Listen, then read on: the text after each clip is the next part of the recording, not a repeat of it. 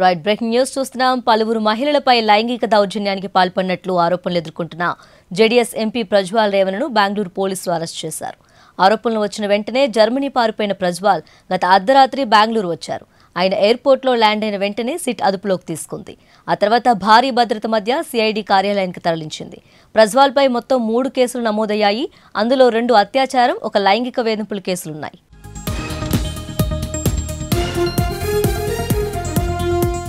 మాజీ ప్రధాని దేవేగౌడ మనవుడైన ప్రజ్వాల్ రేవన్న ప్రస్తుత లోక్సభ ఎన్నికల్లో ఎన్డీఏ కూటమి తరపున హాసన్ స్థానం నుంచి బరిలోకి దిగారు. పలువురు మహిళలపై ఆయన లైంగిక దాడి చేసినట్లు వీడియోలు సోషల్ మీడియాలో చక్కర్లు కొట్టడంతో ఆయన గత ఏప్రిల్లో దేశం విడిచి పారిపోయారు. ఆయన ఆచూకీ కోసం బెంగళూరు పోలీసులు ముమ్మరంగా గాలించారు. ఆయనపై ఒక arrest warrant blue corner red corner నోటీసులు జారీ అయ్యాయి. అటు డిప్లొమాటిక్ పాస్పోర్ట్ రద్దు చేసేందుకు కేంద్ర విదేశాంగ శాఖ చర్యలు చేపట్టింది.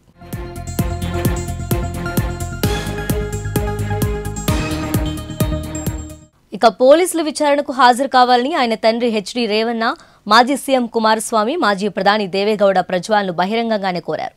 ఈ నేపథ్యంలో తనపై నమోదైన కేసుల విచారణకు సహకరిస్తానని మే ముప్పై ఒకటిన సిట్ విచారణకు హాజరవుతారని తెలుపుతూ ఇటీవలే ప్రజ్వాల్ వీడియో రిలీజ్ చేశారు. మరోవైపు బెంగళూరు కోర్టులో ప్రజ్వాల్కు ఎదురుదెబ్బ తగిలింది. ఆయన ముందస్తు బెయిల్ పిటిషన్ను ప్రజాప్రతినిధులు ప్రత్యేక కోర్టు తిరస్కరించింది.